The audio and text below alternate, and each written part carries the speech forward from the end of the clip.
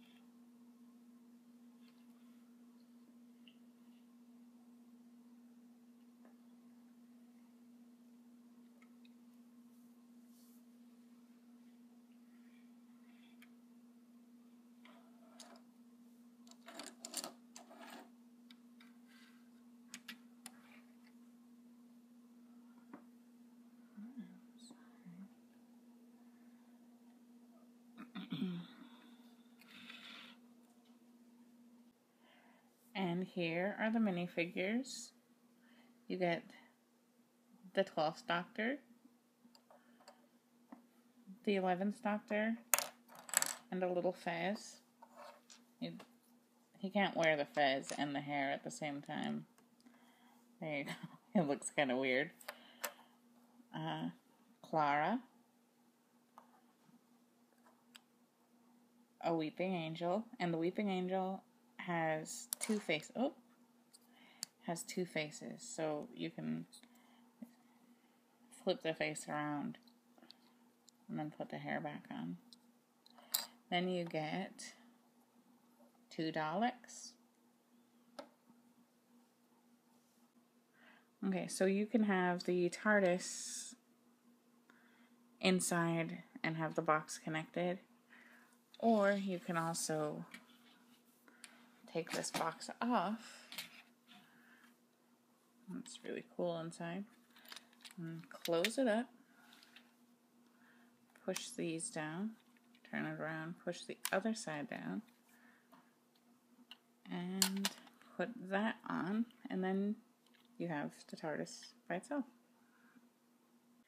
And inside the manual, other than the instructions, there's a little bit about Doctor Who and a picture of the 12th Doctor, Peter Capaldi, and Clara.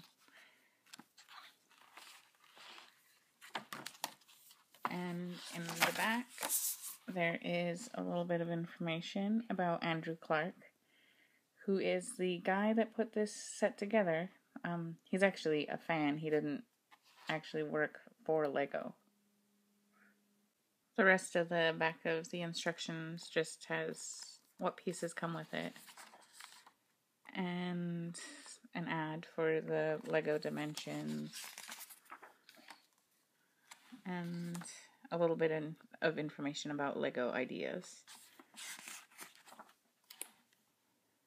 And there you go. That that's it. Okay, so as far as the Doctor Who Lego set goes, I would highly recommend it um, as a gift to anybody out there that has a Whovian friend or relative or whoever you're buying gifts for.